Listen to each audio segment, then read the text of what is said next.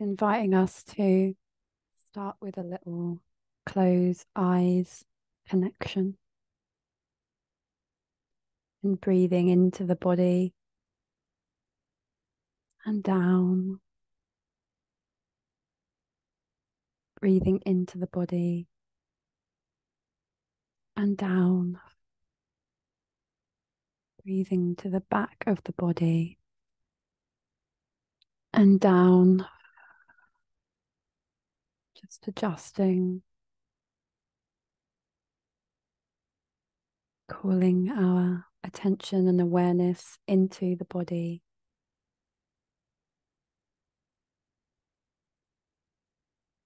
Gentle breaths. Imagining your own heart just lighting up with a beautiful white light.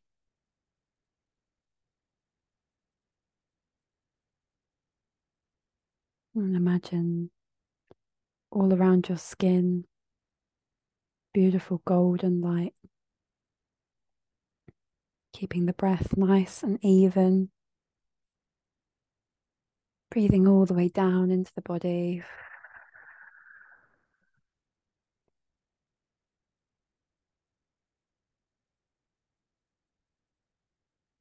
Trusting that only that which is for the highest good of all shall come through in this moment. And so it is, and so it is, and so it is.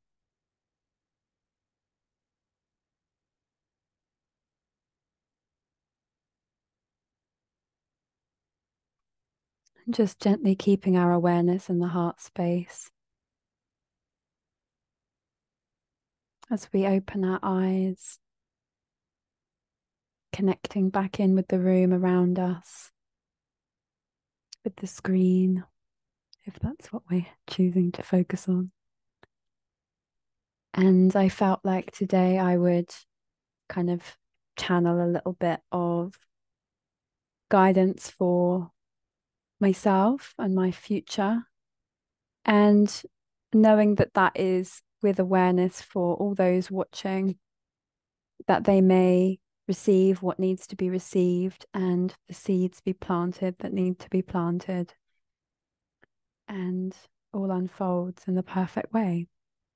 And so it is.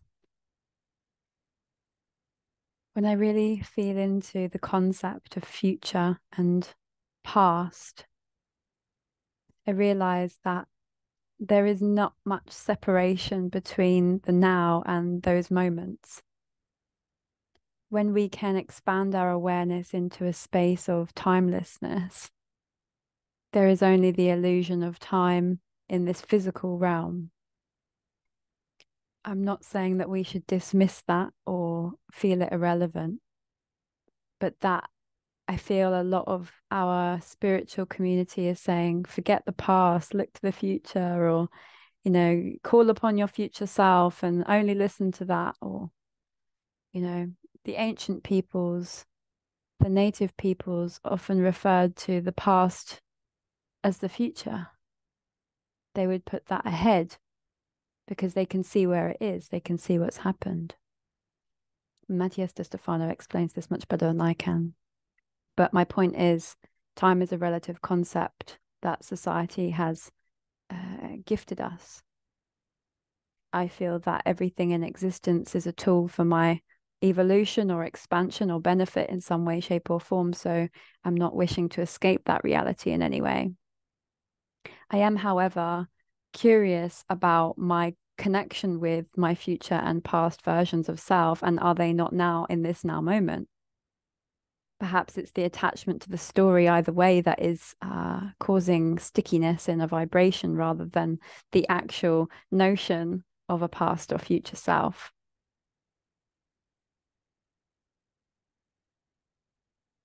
So when we really feel into the concept of time what is it that actually comes up for us as beings uniquely to us what is our awareness what is it that we are so wishing to transform within ourselves through the concept of time we obviously have a delicious experience here on earth for a finite amount of years. Whether we are going to uh, expand into new life after this physical body leaves or transmutes or transforms into another form is for our um, get uh, uh, surprise to find out or our pleasure to relax into the knowledge of in this life. For me, that still pushes me forward to live as most myself, as fully as possible in this now moment. And I had a really interesting dream last night where I was shown a past experience that was quite challenging for me.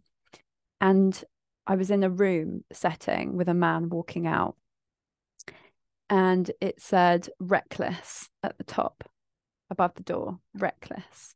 And I was swept up from that moment. And I was almost on like a paraglider, parachute thing, flying through what looked what I could only be described as sky sports, but on crack. Like if I was having a mushroom trip and I'd just been absorbed into the sky sports system, I was like watching para like paragliding myself and watching all of these things kind of come through, having this realization that wow, I am Sky Sports because I am everything. We are everything. We are connected to everything. And um I was then swept into this like block of flats, I suppose, or like uni rooms. And uh, I was taken to one of the doors. There was one door that said love, the next door also love i was taken into the second one and as i opened there was like a puppy and a dog and two people sat there and some guide had taken me there like some man had been taking me there. Um i'm pretty sure that i've felt him in my dreams before. I never see the face but it's like someone obviously that yeah is, is helping as a spirit as a as a guide in my life. And as i entered in someone was saying, "Oh, the doggy, the doggy might bark a little bit," and then I was trying to find a gate for the dog to come in or to come out, and then I woke up.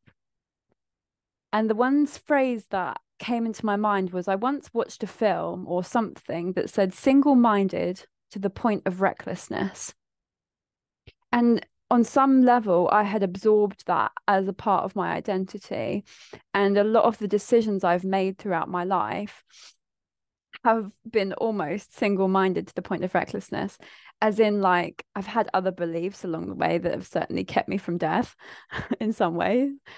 But I've, I've had very, very, very close shavings with life and death.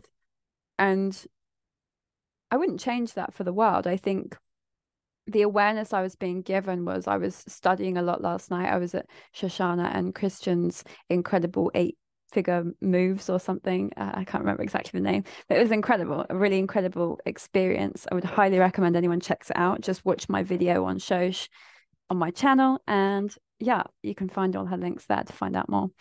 Um, and I went to bed in this incredible, like, I'm an entrepreneur, like energy, you know, like I don't know what it's going to look like fully. I don't really understand what I'm doing. I know I want to look more into AI because holy fucking shit, the future is exciting. Um, and I feel that recklessness, that single minded to the point of recklessness, is exactly the trait that's going to make me an incredible entrepreneur. And I feel that in my bones. It might not always be the first time round. Yes, I will fall on my face a million times over, probably. Who cares? Because I'd rather be in that arena playing than sat out, like waiting for something to happen to me. The physical realm we have is a playground with the right perspective. It's not to say that on some levels there aren't physical dangers and re- realities that really condemn playing this way or this game with joy in our hearts. But actually that is part of this silent rebellion isn't it? Being able to fully embody the deliciousness of life in the now moment.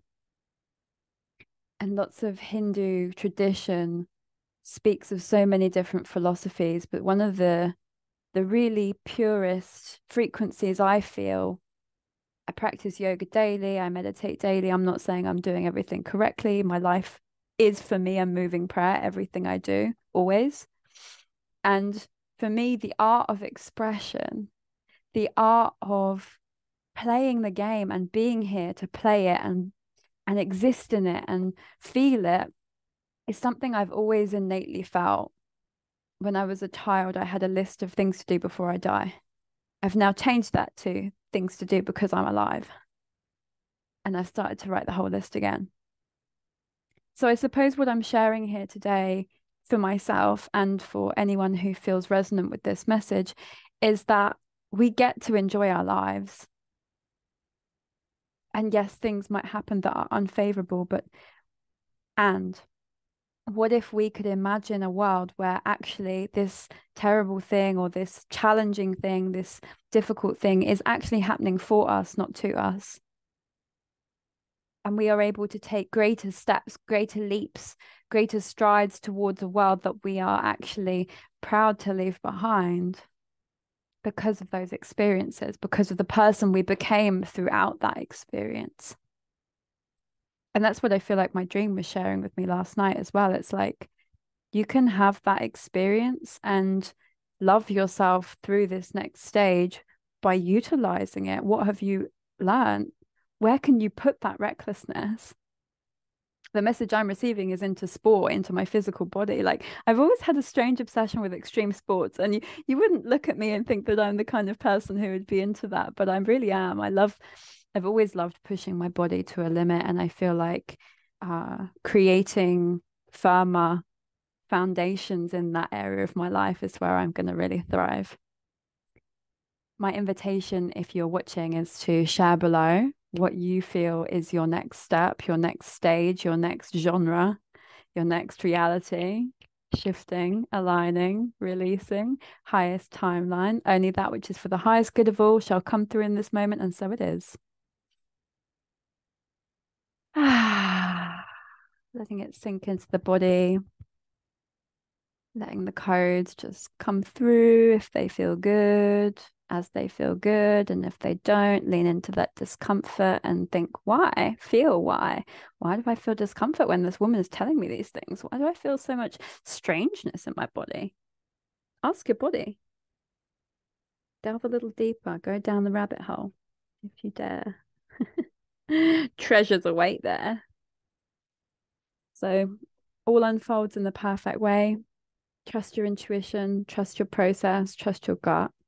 Never take a truth as your own if it doesn't feel innately right. So much love, and I'll see you tomorrow.